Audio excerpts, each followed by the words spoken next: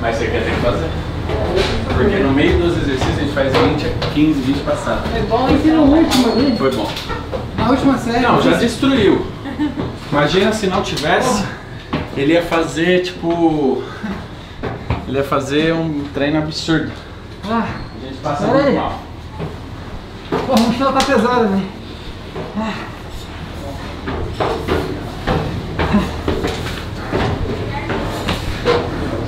Pega aqui pra mim.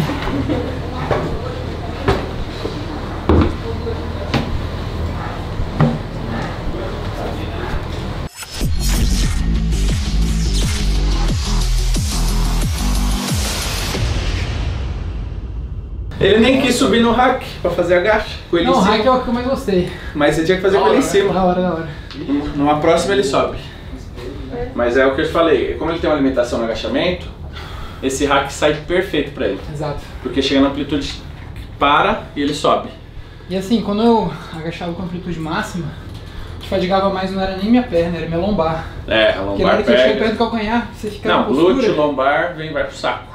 Aí tanto assim que eu sempre fiz, nunca fiz muito terra e stiff, depois de agachamento, porque cara, minha lombar já tá zerada.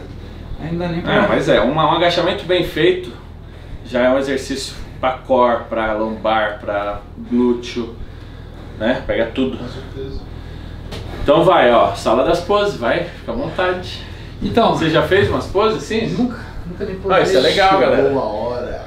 Porque, É. ó, se ele nunca fez pose, é uma coisa que você tem que já começar a ver. É legal você já começar a entender como funciona. Já é legal você colocar na sua mente que se você quer competir, você tem que saber posar. Sim. Não é fácil encaixar a pose. Você vai ter que achar a pose que mais se encaixa pro seu perfil, pro seu corpo. Esconder os pontos fracos, mostrar favorecer os pontos Isso. fortes. E nada melhor do que o Horse. O Ramonzinho, numa próxima a gente apresenta o Ramon. O Ramonzinho também vai começar a dar aula de pose. Então, tipo, são dois caras que são bem interessantes você já ter uma- um direcionamento para quando você começar seu processo lá, o Coach Rubens, com o Botura, você fazer um negócio diferenciado. É, deixa eu falar um pouco, né? Assim, por conta dos desafios que eu gravo, meu peso ele flutua muito pra cima, muito pra baixo. Eu sempre tive te- tendência de engordar e reter bastante. Então, assim, pós-desafio, velho, eu retenho muito, perde definição, eu engordo mais fácil. Só que, assim, se eu manter a dieta certinho, a minha dieta sempre é muito restritiva pra eu poder compensar né, essas comilanças. Então, é, eu já tô assim nessa dieta, assim, pra emagrecer mais, mesmo pra secar. Tem um mês e meio mais que agora eu falei, não, agora eu vou seguir direitinho a dieta. Então já perdi bastante peso, já defini um pouco mais. Não cheguei como eu gostaria, gostaria de ter chegado mais seco. E é claro também, por exemplo, como eu não comi nada praticamente desde ontem, eu sempre fico muito flat, né? Na hora que eu como bastante, dá uma repo, é, reponho bastante o glicogênio. Assim, não é desculpa, só tô falando. É, não tô no nível de definição que eu gostaria, tô bem longe na verdade. Eu tenho muitos pontos fracos, principalmente no lado direito, eu sou canhoto, meu lado esquerdo é todo dominante. Por conta do meu tornozelo direito, eu tenho uma simetria bem grande entre as pernas, apesar das duas serem grandes. A direita ela tem um formato bem diferente, o corte dela é bem menos fundo. Ah, é? É, o, o- eu tenho uma diferença grande de bíceps dos dois também. E assim, coisas normais. Então, bora lá. Bora. Mas sabe o que é legal disso tudo? Porque na musculação, mano, você vai ver, é um mundo. Você já gosta disso. Sim, eu gosto Mas você vê que é um mundo que você consegue lapidar tudo. Se você tem uma deficiência no, no- de lados, né, uma as- assimetria, como muitos, quase todo mundo tem, né? Uhum. É normal. Você consegue corrigir e isso vai encantando. Quanto mais você vê que sua dieta e o seu treino e aquele treino certo, aquele protocolo correto te evolui nesse certo ponto. É, É. a mágica da musculação e do, do O- fisiculturismo. Um reflexo desse meu shape todo torto que eu tenho foi que eu nunca se enfoquei em assimetrias. Eu sempre treinei o máximo de ah, tudo, pra 100%. ter rendimento. Exato, é, eu treino perna 100%. Pô, não é porque eu tenho perna grande que eu vou limitar. Não, eu treino tudo máximo. Entendi. Ele cresceu, assim, minha perna tem mais, tem mais facilidade, ela cresceu mais. Mais superior, entendeu? Eu nunca limitei minhas pernas por conta disso. É. Experimentar no imundo, mas tudo bem. Levanta bem. É, levanta bem. As pernas giga, né? Não, mano. Boa. Que eu faço? O que, que você sabe de pose? É engraçado, quando a galera não sabe, é exatamente assim, né, Horse? O que, que eu faço agora? Faz o que você acha que é certo. Aí o Horse vai te dando umas dicas. Boa. Cara, dá pra ver que ele tem, a muscularidade bem trabalhada em todos os pontos, assim, sabe? Claro que dá pra evoluir e é gritante a, a diferença genética das pernas pro resto, né? Sim. Eu também me, me, me encaixo bem desse jeito também, minhas pernas são muito mais tendenciosas É, eu sempre tive muito, não sei se também por conta da- dos agachamentos pesados, também meu core sempre é muito largo, mesmo quando eu seco. Eu não afino tanto a Acho que cintura. por conta da comida também. Também. É, exato. Mas assim, eu sempre tive. Eu sempre Sim. fui geladeira, entendeu? Sim. E aí eu acho que acentua um pouco mais. Aí se você quiser forçar também o contrário, dá pra. Você sabe fazer vácuo, alguma coisa assim, não? Você treina? Ah, é. Dá pra fazer uma câmera aqui. Não, quem- você treina ou não? Não, não treino. treina. Não treino. Mas manja um pouquinho. Ah, pra competição da comida acho que nem é interessante. Ah, sim. É, então, falam que. Eu, eu até fico pensando, se você tiver muito músculo no core, se ele dificulta o estômago dilatar. né? É verdade, hein? E aí? Não. Cara, eu acho que não é um fator muito limitante, porque tem caras grandes que, Que treinam, fazem? Entendeu? Sim. Então. Encaixa algumas poses pra ele aprender, Horse. Mas você ganha dos caras. ali. Oi? Mas você ganha dos Não, caras. dos caras bombados sim, dos melhores aí não são bombados. Mas assim, o foco é diferente, sacou? É. Porque se o cara é muito grande, ele, ele é muito na pegada do fisiculturismo. Então ele não vai sacrificar muito fisiculturismo pra competição de comida. É, ele isso muito é mais verdade. futuro fisiculturismo do que. Posso um pouco? Claro. Tô. É, tá. No treino de perna destrói, velho. Nesse calor. Nossa, mano. É Encaixa, isso, eu gostei de fazer. encaixa umas duas poses pra ele aprender. Vamos lá, vai. Tá. Pro bíceps de frente. Força as pernas. As pernas é monstro, hein? Nossa, tá vendo as pernas duvidando até maior. É, é, eu acho que é. Caralho, quadríceps gigante da porra. Grandão mesmo. Boa. Vamos, peitoral melhor lado. Sabe fazer? Como? Peitoral melhor lado? Não. Assim. Você vai trazer essa perna pra cá, pra esse adutor e empurrar o femoral pra cá. Assim, ó. E aí você traz e gira. E aí, peitoral. Faz ele que ele vai te ajeitando. Vem trazendo a perna. É, mais. Ó. A perna esquerda ela junta na direita. Ah, é o joelho? É, o pé. Vai mais. Aqui, ó. Aqui embaixo. Aqui, ó. Ó, aqui, ó.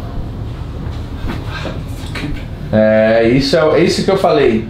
Da, da pose, ela cansa. Cansa. É difícil de É fazer. difícil. É. Boa. Dá pra melhorar ainda. É.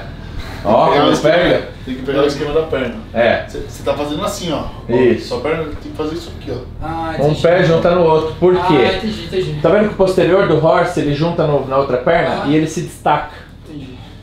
Então é- Isso, isso. Agora melhorou. Agora melhorou. Melhorou. Ainda ele tá, ele tá forçando muito a escápula, ó, aqui atrás. Isso. Boa. Aí. Boa. Aí. Essa já é uma pose que você Vou fazer uma expansão de dorsal. Expansão. Pra lá. Ó. A escápula. Isso. Boa.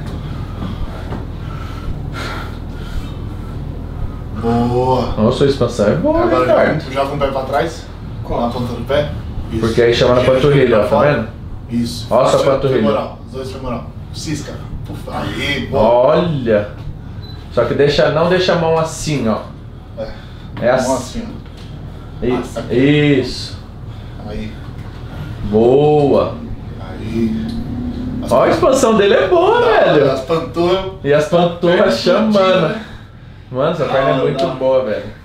Boa. Que da hora, Tô velho. vendo se vocês estão vendo ou não, mas. Ah, não, mas no vídeo depois você vai. Não, a genética de perna é bizarra, É, né? é Caraca. bizarro. Da onde saem essas pernas, velho? Ah, Os mamãe fez, cara. Parece Mano. tipo ciclista, né? Das Calma. maquininhas. É, então, na porque real, ela- na real. Das Tá maquininhas de de dança. Eu jogava isso em 2005. De, de... É. Ah, que da hora. Joguei uns 10 anos, de 2000 a Olha, jogava esse 2010. bagulho no computador aqui, ó. É, é. Mas assim, eu não sei se é por conta disso, mas eu sempre tive facilidade, sacou? Ah, mas uma coisa é, sua expansão agora a gente viu, é legal. O que você precisa é começar a fazer a- o crescimento muscular para os detalhes. Exato. Porque a- as suas costas de expansão ela é bem legal. Aí falta aquela, aqueles desenhos de posterior, de trapézio, trabalho aqui do, do dos romboides. Então tem bastante coisa que é bem legal. E assim, pra o que mais me, sempre me incomodou no meu, no meu físico mesmo foi braço. Assim, não a, vem? é, o desenho do tríceps mesmo, o meu bíceps ele não, ele não é, cresce tanto, é inser- inserção muscular mesmo. É. E assim, se o volume dele ainda fosse maiorzão, beleza, mas caraca, é, é difícil, velho. Eu, Mas treina quantas vezes? Braço. cara, agora atualmente eu tô juntando ele junto com costas e, e peito, né? Que é Mas um- você não faz isolado? Não tô fazendo assim, faço isolado no final do treino. Sim. Assim, treino costas, dorsal e depois faço só pra bíceps. Mas o que, que você acha? Por exemplo, como é uma deficiência dele, você não acha legal Talvez pegar um sim. dia pra isso? Acho que sim. Eu também Talvez acho. pode jogar duas vezes, né? Por exemplo, o que eu acho legal. Um. Pode, pode. Por exemplo, treinou peito, finaliza com tríceps, dá um estímulo. Treinou costas, finaliza com bíceps, dá um estímulo. Depois você só E aí pega um dia bíceps e tríceps. Um treino pesado pro seu braço. Esses treinos só pra braço, normalmente assim, quantos exercícios, quantas séries? Isso Claro é que muito varia, né, relativo, mas- mas dois é, é. Três, quatro exercícios. Eu gosto de fazer dois isolados e uma super série, por exemplo. Então vai, rosca direta, rosca martelo e depois algo junto, uma junção de dois exercícios para dar aquele pump final, Aham. entendeu? ok. Então é cabuloso. Não, eu também concordo que acho que tem que ter. Eu já fiz um tempo, bastante tempo. Sim. Também não vi tanto resultado assim. E aí acaba que eu variava, voltava e tal. Mas eu concordo, é uma deficiência bem grande e eu acho que deveria focar nisso. Legal. Então é isso, tem mais alguma dúvida? Não, que isso. Curtiu? Quer dizer, dúvidas tem milhares, mas a gente vai aprendendo. Ah não, estamos aqui pra isso. E conte com a gente pro que você precisar. Vamos lá, quero Valeu. ver. Eu quero ver você evoluindo aí o claro que máximo. assim, em relação é, aos desafios, eu tenho que fazer muito jejum antes e depois, né? Então não é uma dieta tradicional que eu tenho. Eu tenho, eu sempre estou em dieta é, hipocalórica. Sim. Mas assim, eu espero que a gente mudando, mudando a nossa vida, né? Sim. Competir lá nos Estados Unidos, a gente tenha períodos maiores. Pra poder focar nisso, entendeu? Isso. É, porque, por exemplo, que nem eu falei no começo do vídeo. Caramba, ele só comeu uma maçã e não sei o quê. Treinar bem em jejum é legal. Só que nutricionalmente falando, não é bom pro seu músculo. Entende? Ah, Então tem muita gente que vai falar, nossa, mas como ele aguentou o treino só com uma maçã? Tem gente que tem uma adaptação. Eu mesmo gosto. Se eu acordar e fazer um treinão, musculação pesada em jejum, eu treino de boa.